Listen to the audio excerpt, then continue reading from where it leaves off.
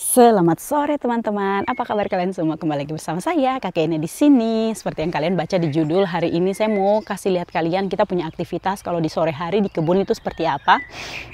Karena eh, saya sudah bikin kebun tour, kalian juga sudah lihat saya punya sayuran dan buah-buahan yang ada di kebun sini. Jadi saya cuma mau kasih lihat kalian biasanya kalau sore-sore tuh kita ngapain aja. Dan ini juga mungkin jadi salah satu alasan kenapa kita punya kebun tuh menurut banyak orang subur sekali. Dan saya setuju dengan banyak orang yang bilang saya punya kebun subur karena memang ya saya jarang merawat, tapi Pak Guru Paul, saya suami itu dia yang selalu merawat dan sekalian saya mau kasih lihat kalian juga update-update apa saja yang sudah ada di kebun. By the way, ini saya pakai mikrofon dua, mungkin kalian bakalan sadar belakangan ini saya bakalan pakai mikrofon dua karena saya mau menjaga supaya saya tidak teriak-teriak di atas um, kebun ini ya. Supaya kalian nanti apa namanya saya tidak teriak-teriak.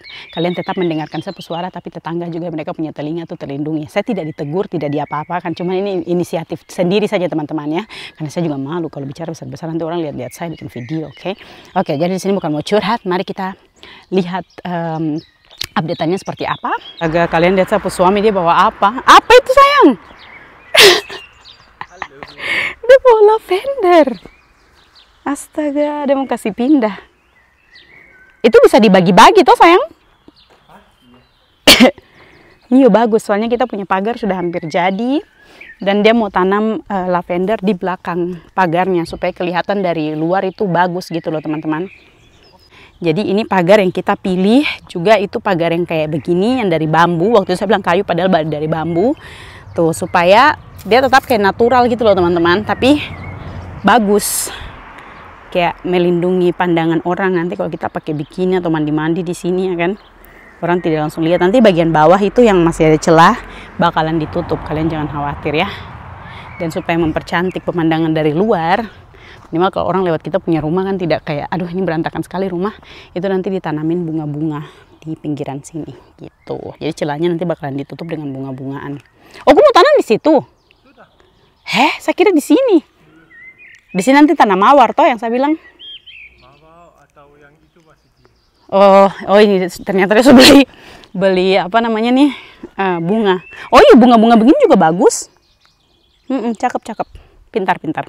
Tuh, jadi ini juga nanti Paul dia bakalan uh, lanjutkan tutup bagian sebelah sini. By the way ini belum selesai. Kalau kalian lihat masih ada kayak celah. Itu bakalan nanti ditutup sama Paul. Ini sementara saja nanti dia gabungan dari sini juga baru. Terus di bagian depan-depan pagar nanti uh, luar dan dalam itu kita bakalan tanamin bunga supaya cantik. Tuh Paul sudah mulai tanam lavender sama eh, bunga-bunga uh, lainnya di depan nanti kita bakalan tanam yang lainnya juga. Terus di sini saya sudah kasih pindah sapu ayunan. Nah enak kan, pagarnya lumayan tinggi. Jadi kalaupun sore gitu tuh kayak ada, kita belum ada pohon di sini tapi tetap kayak ada apa sih, kayak rindang di sini karena terpele dari ini. Dan ini juga tuh bahan alami kayak bambu gitu ya kan. Kayak senat kalau di Indonesia, eh, di Papua tuh bilang nih kayak senat gitu teman-teman. Tapi ini memang di Jerman dibuat untuk jadikan pagar. Okay. Dan memang ini sesuai dengan konsep yang kita mau bangun di atas kita punya uh, kebun ini. Kita mau bikin um, apa sih namanya? Semuanya itu kayak jadi natur gitu loh teman-teman. Kebun. Jadi kita tidak mau pakai pagar yang kayak besi atau apa begitu. Kita mau semuanya tuh kayak temanya tuh yang menyatu dengan alam ya. Makanya pagarnya pun kita pakai yang kayak begini saja, yang sederhana. Tapi uh, dia memenuhi kita punya kebutuhan gitu.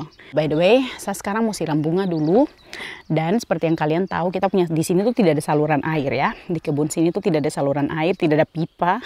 Waktu itu Paul dia coba bikin sumur bor di depan situ tapi terlalu dalam dan belum dapat air juga.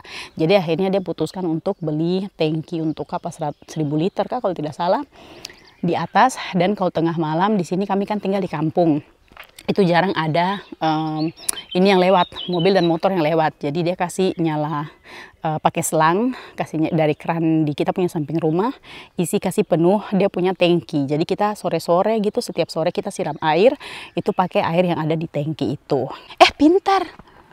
Itu untuk di mana? Sana juga? Hmm, dia tanam ini apa pohon-pohon untuk supaya jangan longsor jangan longsor kalau bagian sini nanti dia mau taruh batu nah, jadi tahun lalu tuh si Paul setiap kali dia mau siram tanaman, itu dia pasti bawa air gotong dari dari kita punya rumah ke kebun. Dan itu capek sekali. Jadi tahun ini tuh saya sudah bisa bantu dia siram bunga karena cuma harus pegang selang teman-teman. Oke, mari saya kasih lihat kalian dia mau tanam-tanam bunga, kasih biar jadi aktivitas di sore hari itu biasa begini. Dia urusan dengan dia punya pagar dan lain-lain. Saya bantu dia siram bunga, oke? Sekarang kasih lihat kalian bagaimana caranya. Nah, jadi ini dia tangkinya. Pertama-tama yang kita harus lakukan, jadi di sini tuh pakai pompa. Ya, tidak ada baterai. Man, mana? Oh, kita punya raspberry sudah mulai merah, sayang. Sudah bisa panen.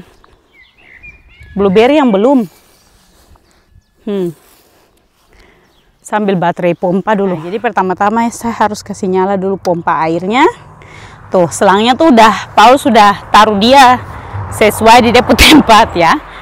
Udah deh, kalau kasih sudah kasih nyala pompa. Oh, lupa. Ininya kasih nyala. Nah buka tuh kan oh, ternyata belum terbiasa tuh air langsung berkucuran di sana bercucuran gampang kan mau siram bunga jadi biar musim terik panas kita tidak akan kehabisan air di sini. Weh rajin nih. Sini jangkau pencitraan saya mau bikin. Oh. Oke okay, sini. Tuh. Jadi saya akhir-akhir ini tuh saya baru mulai paham kenapa Paul itu sering sekali dia menghabiskan waktu.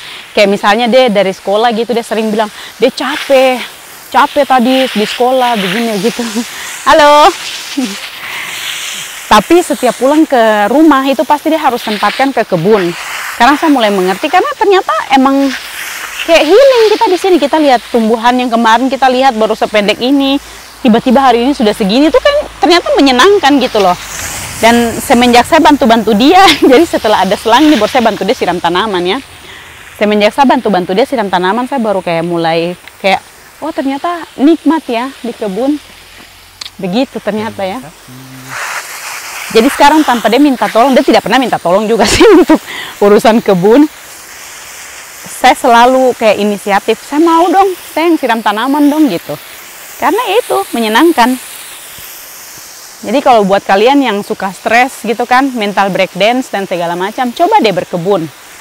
Emang itunya susah sih kayak bikin dari awal tuh susah sih. Tapi kalau sudah sekalinya ditanam tinggal siram-siram kasih pupuk itu menyenangkan sekali ternyata. Tuh. baru gampang kan kita berdiri di sini sambil ngobrol dengan kalian juga kita bisa kasih siram-siram ini tanaman yang lain. Kita siram dulu bagian sini karena kita punya kebun ini dia tidak terlalu beraturan di mana-mana ada tumbuhan ya kan? Jadi kita harus kayak giliran-giliran gitu. Kotak di sini habis itu di kotak selanjutnya. Tuh kan seru banget kan aktivitas ini? Apalagi di sini airnya juga unlimited ya kan? Tidak perlu kita pikir lagi nanti dapat air dari mana? Susah angkat air. Semuanya sudah tersedia. Tinggal yang penting rajin. Tuh kalian sekalian lihat saya punya sayur apa sih eh, wortel sama sayur kol itu sudah mulai-mulai membentuk ya membentuk sayur kol gitu. Yang ungu yang masih belum terlalu jelas tapi yang hijau-hijau nih kalian lihat nih ya kan? Ini paling berapa satu minggu dua minggu lagi sudah bisa panen ini.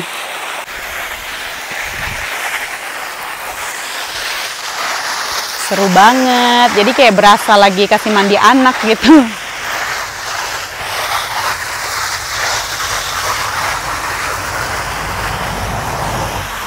siram tanaman sambil lihat-lihat kemajuan. Duh nikmatnya hidup ya Tuhan. Dan kita tahu pada akhirnya nanti tanaman-tanaman ini akan bikin kita kenyang gitu loh. Kalian mengerti tidak sih? Saya terlalu banyak bicara bahwa saya tidak yakin kalian mengerti dengan apa yang saya maksud. Tuh, sekalian di sebelah sini juga ada pisang, ada terong, ada black apa blackberry. Kita kasih minum mereka, ya kita cukupkan mereka dengan nutrisi yang mereka butuhkan.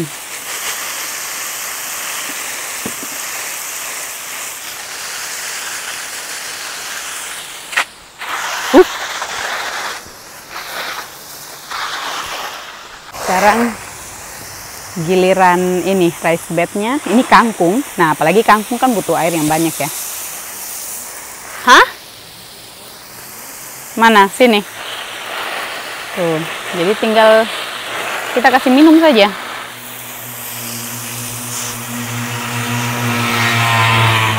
Cuman nih kangkungnya kayak terada semangat hidup, Kak. Tapi ini sudah mulai-mulai nih, sudah mulai-mulai ada yang Paul katanya butuh air. Sini. Mau disiram? Jangan. Kulihat. Coba mana? Oh iya nih Paul dia. Wih, memeung. Langkah panjang. Oh, bagus. Dia sudah tanam bunga-bunga di sini. Ini nanti bunga-bunga ini jadi besar juga kayak lavender toh? Kayaknya sih. Tuh, jadi ada itu lavender juga di bawah. Terus itu lavender yang besar yang dari kita punya taman dia kasih pindah ke sini. Weh. Mantap betul. Jadi gini aktivitas kita sebagai orang kampung di Jerman. Nikmat kan? Mat. itu lavendernya nanti parkiran di bawah situ. Tadi aku bawa lavender yang satu lagi toh. Mendingan lavender yang tiga-tiga tuh semua kasih pindah di sini. Iya tuh, di sebelah situ satu. Sama di sana juga. Oh, itu ada pohon apa? Natal kayak itu dia ada kasih pindah juga di situ. Tuh.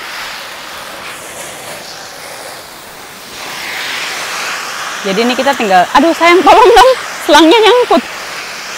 Sekarang giliran wortel, bayam, sawi. Eh, sawi tumbuh lagi loh sayang. Ke- Oh, kok bukan yang kemarin kita potong. Dia muncul lagi.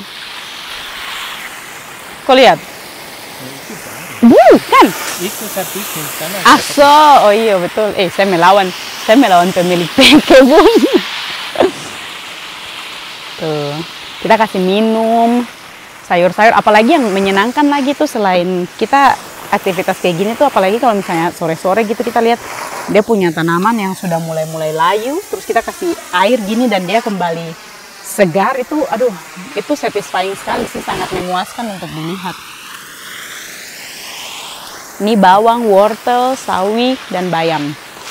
Di sebelah sini bawang, kacang panjang, brokoli.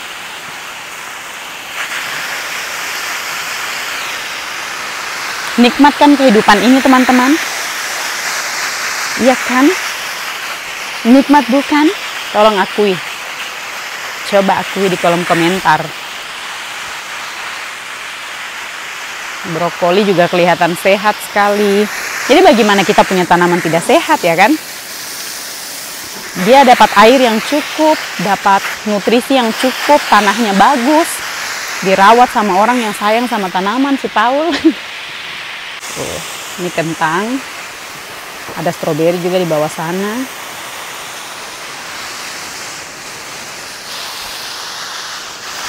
Ini yang bawang-bawangan dan brokolian. Brokoli juga sudah mulai membentuk. Kalian lihat di atas sana. Kan?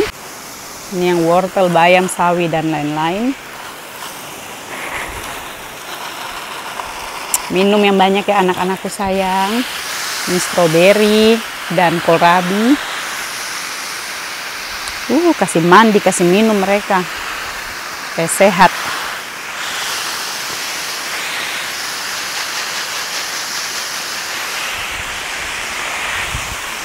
Di belakang juga ada paprika eh, sama itu kol hijau. Apa sih namanya? Bukan kol hijau. Sayur kale.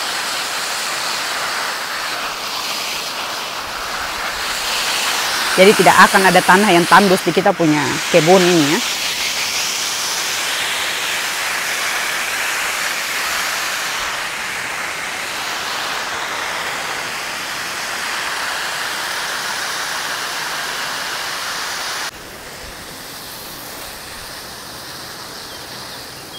Jangan ada yang kelupaan pokoknya. Hmm. ini juga tidak kelupaan ada stroberi juga mana dia tuh. Pokoknya di kiri kanan muka belakang semua samping depan ada tanaman ya. Ada sayur dan buah.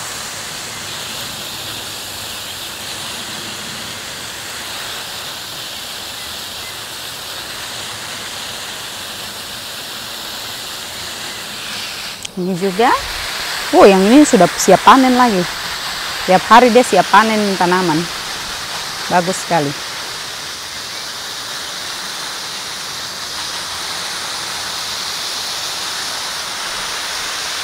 Nah, ini satu-satunya kita punya tumbuhan yang kayaknya sudah tidak ada harapan. Ini cabai, teman-teman. Yang dari tahun lalu yang kita terlambat tanam dan kita selamatkan ke dalam rumah, tapi pas dikeluarkan dia malah jadi begini.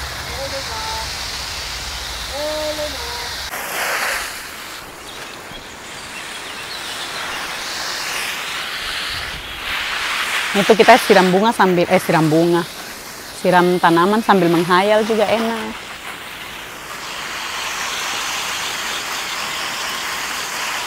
sambil ngerumpi dan tetangga juga asik.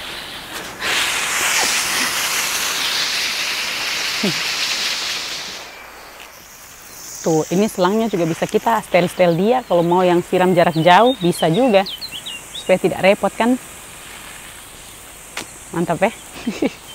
Oke deh teman-teman, jadi kita punya aktivitas di um, sore hari di kebun tuh biasanya kayak gini. Nanti kalau sudah selesai siram-siram tanaman, itu biasanya kita nongkrong. Kadang-kadang sambil minum es atau apa begitu chillin gitu kan di sini oh ini ada lagi yang lebih lebih jauh lagi oh begini ah kenapa saya tidak tahu dari kemarin saya kira cuma ada dua jenis oh. Nah jadi kita aktivitas tuh sore-sore cuma begini aja aku bantu di kebun habis itu duduk menikmati lihat pertumbuhan tanaman-tanaman yang kita tanam di sini ya kan sambil cerita-cerita kita punya kehidupan. Pokoknya nikmat sekali hidup di kampung dengan kita punya keadaan hidup yang seperti ini sederhana. Tidak terlalu ya kita tidak butuh yang neko-neko. Begini saya sudah bikin happy sekali ya. Tapi ya standar happy-nya orang kan berbeda-beda teman-teman. Kita tidak bisa paksakan orang tuh harus happy dengan apa yang kita lakukan dan kita, orang tidak bisa paksakan kita happy dengan apa yang orang lakukan juga kan gitu. Seperti itulah kehidupan. Khotbah lagi. Oke, so terima kasih buat kalian semua yang sudah ikuti saya punya aktivitas di sore hari ini di kebun. Semoga kalian suka dengan videonya meskipun saya tidak panen, saya cuma kasih lihat kalian apa yang saya lakukan di kebun kayak gini saja siram-siram. Terima kasih sudah nonton, kita ketemu lagi di video selanjutnya. Dadah!